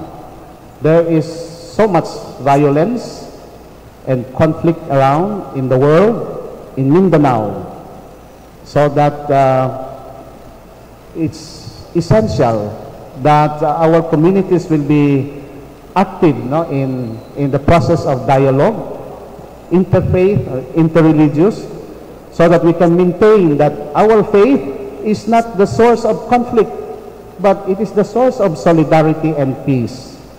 That faith respects the sanctity of life, respects human rights, and dialogue is much superior than war. Ikaupat, ang pagpaminaw sa bakho sa mga kabus. Poverty continues to be a top social justice agenda.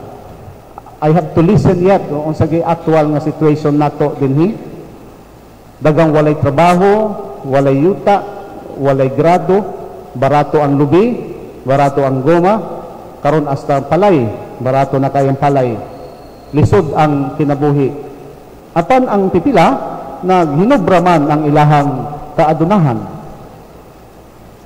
So dili kabos ang ang naghatag niini ang Ginoo manggihatagon pero ang pag-apod-apod nato murag dili maayo o kulang sa uh, sensitivities o compassion to those who are suffering.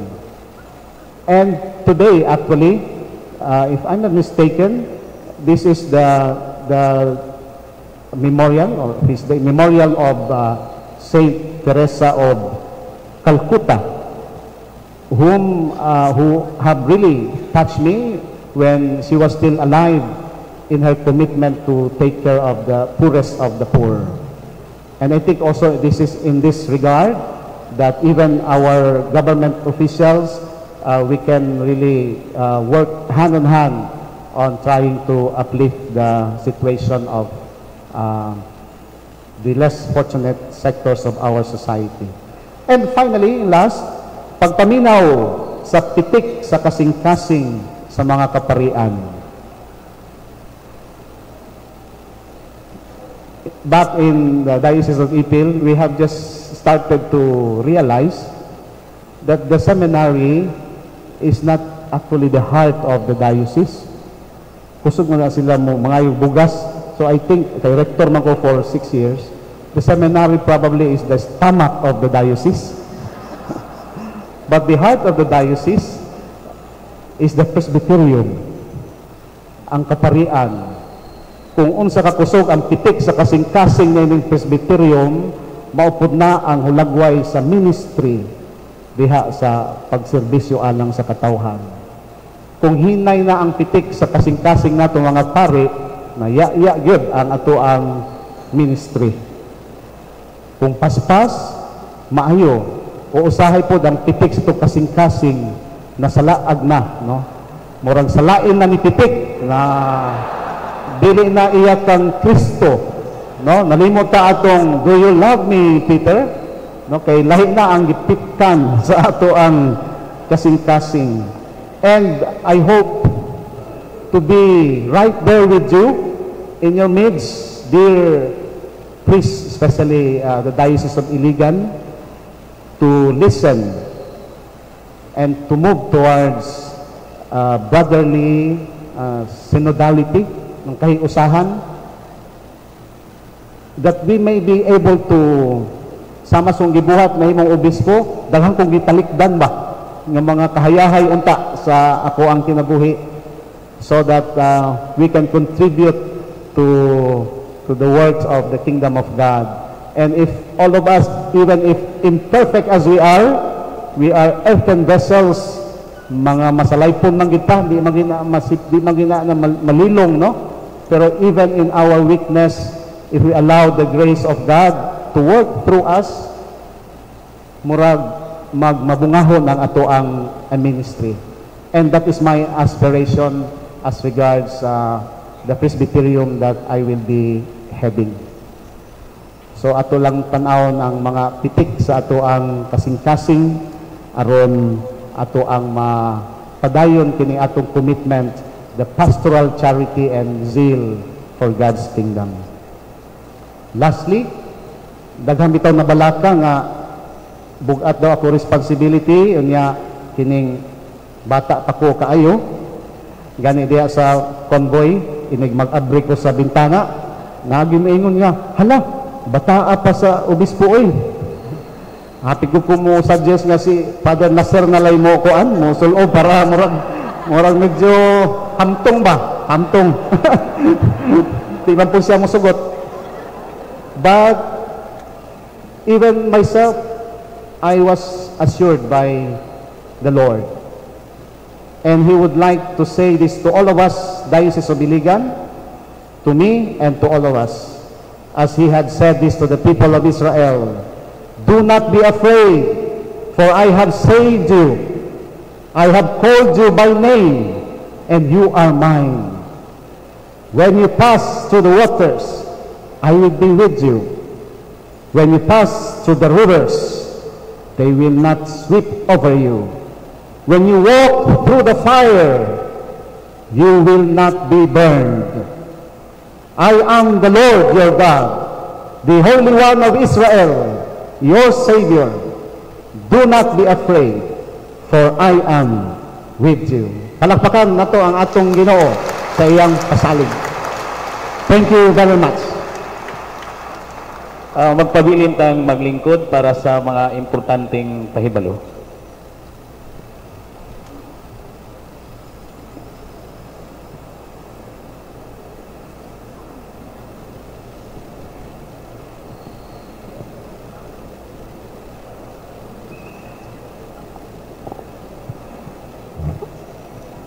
Ah, dili. Dili pa ni pahibalo, uh, continuation is mga pasalamat, inaatay mga pasalamatan niyo. Uh, amo lang i-report nga this installation base sa amo ang uh, record uh, mga sa mga delegado uh, we have six archbishop then we have 12 bishops we have six monsignori. Priests we have 208 uh, religious sisters 73 deacons wala.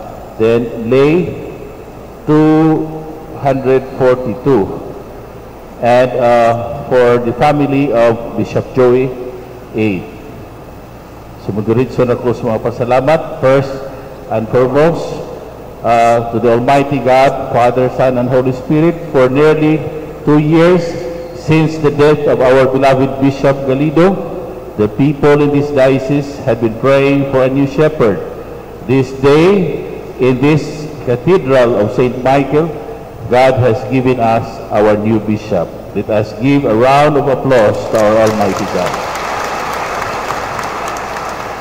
To the Holy Father, Pope Francis, for his deep and prayerful discernment, discernment as to the choice of God to become the fifth bishop of Iligan, for giving us a temporary and good shepherd in the person of the apostolic administrator, Most Reverend Severo Sicaer Marie, and for appointing and sending Bishop Joey to our diocese to be our bishop. Let us give a round of applause to the Holy Father, Pope Francis. His Excellency Archbishop Gabrieli Giorda- Giordano Catcha, Papal Nuncio to the Philippines, for showing compassion to the people of God in this diocese by helping expedite the appointment of our new bishop, and for the grace of his presence, let us give a resounding applause to the Papal Nuncio. To the Most Reverend Martin S. Humuad, Archbishop, Archdiocese of Osamis, for through his grace our new bishop has now been installed. Thank you so much, Your Grace, Most Reverend Martin Humuad. A special thanks and appreciation to you, Reverend Father Timoteo Oprasio S.J., for gracing this event with your presence and expertise in liturgy. Let us give a round of applause to the well-renowned liturgists in the country, Father Tim Oprasio. Let us also acknowledge and give thanks to his assisting MCs, Father Elijah Sansona, and soon-to-be deacon seminarian Judel Ramos. Let us give them a round of applause.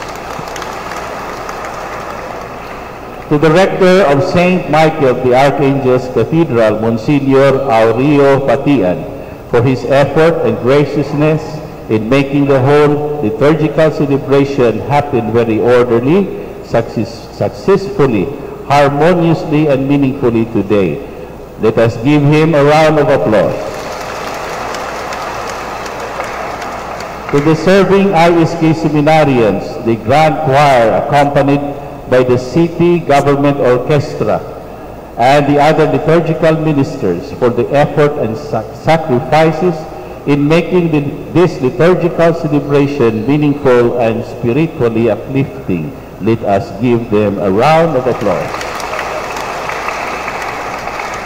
To all traffic enforcers, enforcers, the policemen, and the Philippine Army for the security and order they provide us. Let us give them a round of applause. For the all-out support of the city government and the provincial government, for the city of Iligan, headed by the Honorable City Mayor Celso Regencia and Vice Mayor Jimar Veracruz, and Honorable Governor Imelda Quibranza de Mapuro, who, uh, who is represented by Honorable Vice Governor Maria Cristina Atay for the province of Lanao del Norte. Let us give them a round of applause.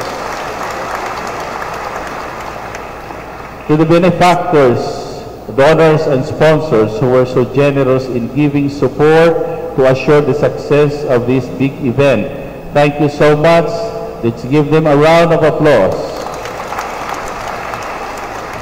To the family of Bishop Joey, clergy, and people of Ipil for sharing the gift of God to your diocese, diocese with us, our new Bishop, Bishop Joey.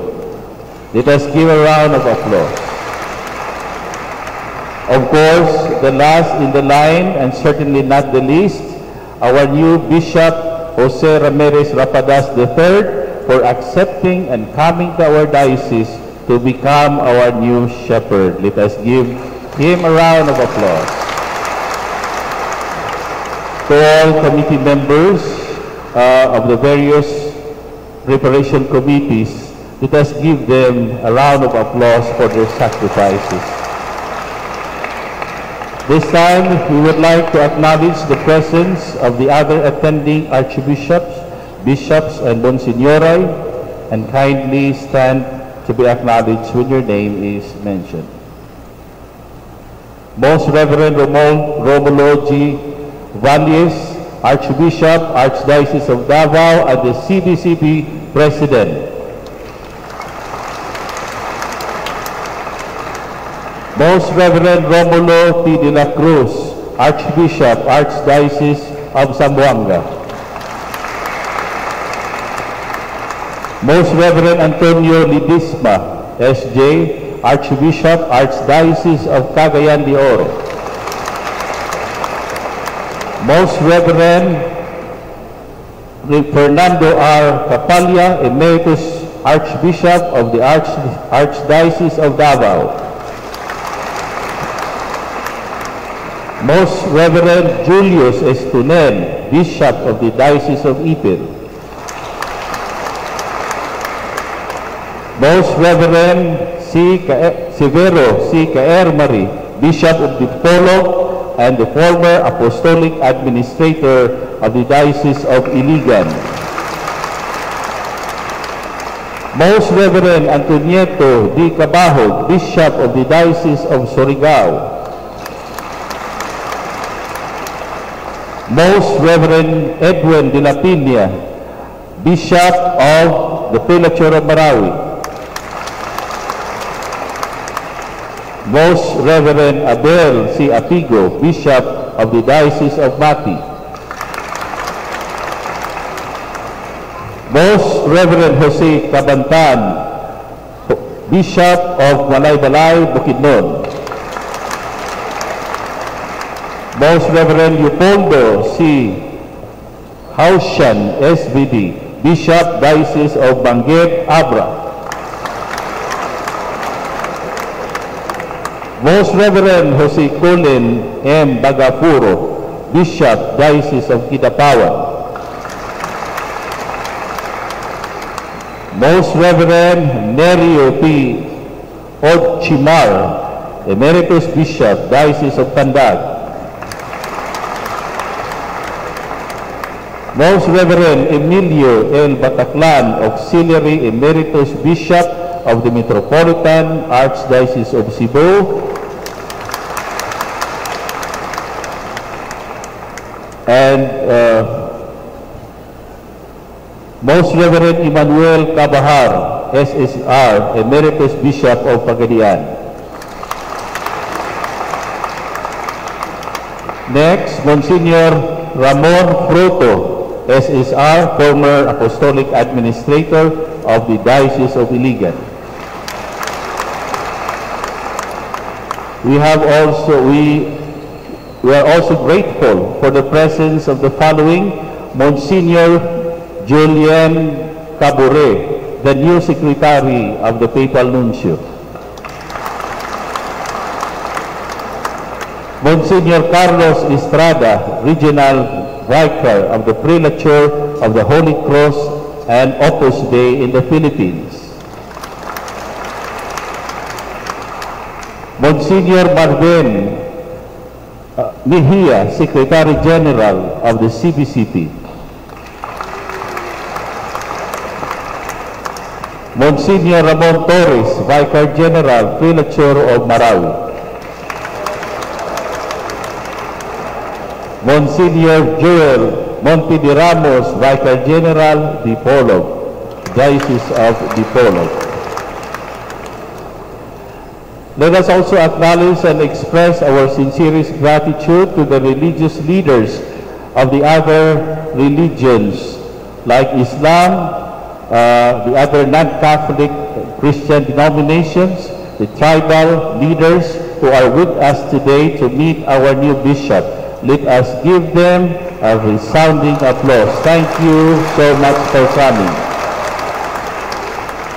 Let us also give thanks to the Catholic media, especially the Diocesan Sukum of Iligan and the other media networks for making this event heard and seen worldwide via FB, YouTube, Radio, Radio, TV Maria, CBCP, and the other national and local media networks. Let us give them a round of applause. Let us also acknowledge the presence of the clergy from various archdioceses, dioceses, prelatures. Let us give them a round of applause. If you, if you may, you may stand. Let us also acknowledge and give a round of applause to the religious sisters and brothers who are taking part in this celebration. Of course, not the least, let us acknowledge and be grateful to all the lay faithful who came from various places. This whole event is a blessing from God, all because of you. Let, let's give them a round of applause. And to this end, let us give a round of applause to the Blessed Mother of God. Thank you very much. Since we are the last in the litany or in the roll of appointments of new bishops and installations, probably this is the last or the longest announcements that we have had. What Father Edward missed, I will supplement. That is the meaning of Jose. He forgot to make mention the presence of Congressman Frederick Shaw, the lone district congressman of Iligan City. Second important announcement and appeal. For those concelebrating priests, do not be surprised if your vestments will be retrieved. Why? Because Iligan is not as rich as the other. We are only rich in water. Third, we are about to end our Mass. Hapit na matapos ang misa, therefore in few minutes, we will go to the Alamesa. The main reception of this event will be at the Basic Education Department of St. Michael's College, St. Joseph's Gym. Do not worry because vehicles and buses will transport you to the main place. Your name tags and your coupons hold as your gate pass. That means without the button pins, the name tags, and the coupons, probably you would be declined to enter. And I'm sure that before you leave the hotels, your places of accommodations, you are instructed to check out before 12. Since it is about 12 o'clock and probably hotels allow you to extend an hour for that matter, you may do so. So, from here, we will proceed to the main venue of our reception and ushers and usherettes will guide you to reach there. Thank you very much and maayong udto sa tanan. Kaliwag manindo ang tanan alang sa katapusang pagpanalangin.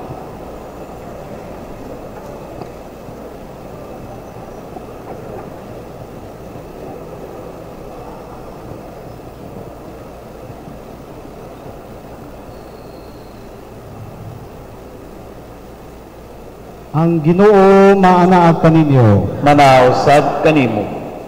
Bulahan ang ngalan sa Ginoo. Karon ug han sa kanturan Ang atong hinabang anaa sa ngalan sa Ginoo. nga nagbuhat sa langit ug sa yuta. Manalangin kaninyo ang Dios nga makagagahom sa tanan, ang Amahan ug ang Anak ug ang Espiritu Santo. Amen. Natapos na ang misa, panlakaw kamo sa kalinaw. Salamat sa Dios. Bishop